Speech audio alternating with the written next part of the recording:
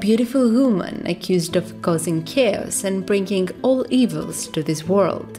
She could be Eve or Pandora, but this time she's Helen, the one accused of causing the Trojan War, the one who left her husband's side and traveled to Troy with another man, Paris. Greek mythology and the Homeric hymns that kept them alive focused on brave heroes who fought battles and explored the world. Greek tragedy, on the other hand, placed the misunderstood characters under the spotlight. In the Iliad and the Odyssey, we hear what men had to say about Helen. In the play Helen by Euripides, we listen to her side of the story.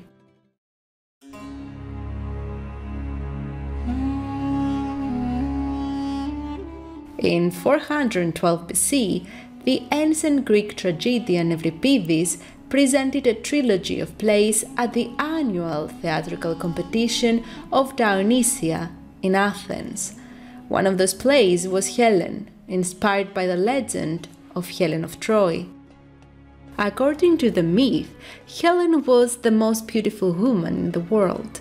She was the daughter of Zeus and Leda and wife of King Menelaus of Sparta.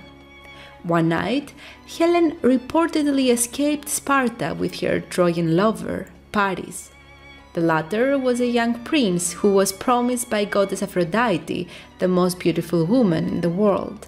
And despite popular belief, it is not clear whether Helen chose to live with Paris.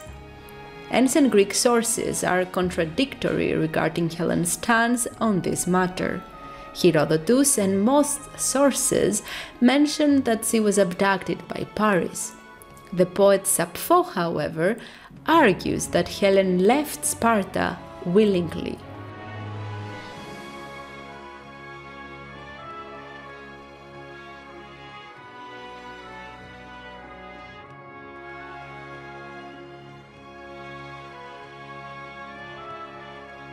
Looking closely at the storyline, we can easily notice how irrelevant Helen's stance appeared to be. Nobody really cared whether Helen was abducted or decided to escape from Sparta because she was unhappy. She was portrayed as the destructive woman, source of all evils, for whom several ships sailed towards Troy. And many young men fought and lost their lives. She, uh, a wicked woman, was blamed for starting a vicious war.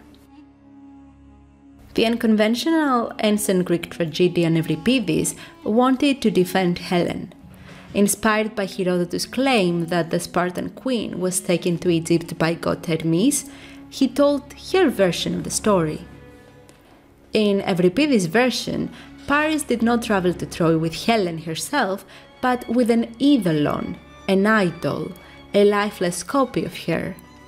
Goddess Hera, protector of marriage, wanted to stop Paris from doing so. The Trojan prince had offered the apple of discord to another goddess, and she aimed at punishing him.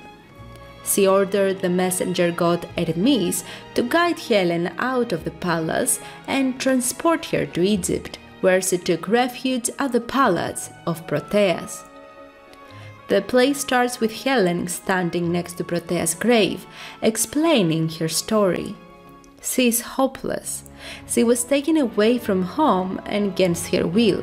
She had no way of returning there, and she knew her name was tainted anyways. Not only that, but she felt uneasy in Egypt after her protector's death. King Proteas' son, Theoclymenos, put a lot of pressure on her, he wanted to marry her. Helen then comes across a familiar face. Teucros, the best Greek archer who participated at the Trojan War, had visited the palace of Proteas to ask for a prophecy. Proteas' daughter, Theonoe, was a well known fortune teller at that time. Helen is desperate to know where her husband is and if he is searching for her. Teucros, however, informs her that Menelaus is probably dead. She also becomes aware of how hated she is by both Greeks and Trojans. Helen then starts mourning on stage along with a group of Spartan women. She has lost all hope. But what Helen, the tragic character of the play, does not know is that Menelaus is alive and hiding on the riverside of the Nile. He was washed ashore when his ship sank. Him, the counterfeit Helen, and his men were all hiding in a cave.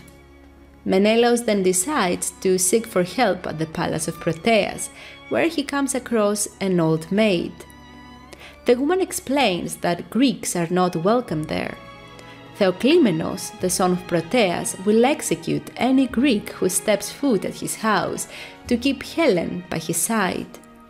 Menelaus is baffled. Who is this Helen she is talking about?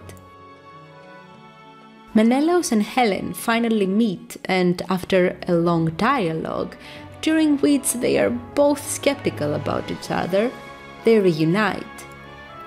I was tricked by the gods into taking to my arms a misty phantom form to my sorrow, he says. With one of the characters replying, How so? Was it then for this we vainly toiled? With Theonoe's help, they managed to escape by boat and return to Sparta. Theoclymenos becomes enraged and almost kills his sister. But Theonoe is saved last minute with the help of the gods and goddesses. On a surface level, the tragedy focuses on the importance of virtue and oaths, especially between husband and wife. But Helen is more than a play about loyalty. The play is about the nonsense of war. What was the purpose of the Trojan War? Just a lifeless shadow. Euripides had just witnessed the defeat of Athens in the Sicilian expedition. This war had caused great panic to Athenians, and people started questioning the necessity of war. Moreover, the play brings forward the voices of women who have been shamed and blamed from society without much proof. Both the feminist and the anti war sentiment of the play were inspired by the teachings of the Sophists. The latter were Greek lecturers who questioned the values and ethics of their time.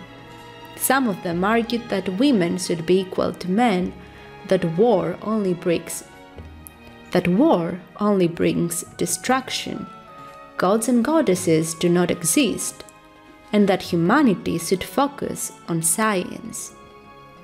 Euripides' plays were controversial since they questioned the morals of his time. He is known as the misunderstood tragedian, and it took years to get recognized for his contribution to theater. Helen has inspired many contemporary artists including the Greek poet Yorgos Seferis.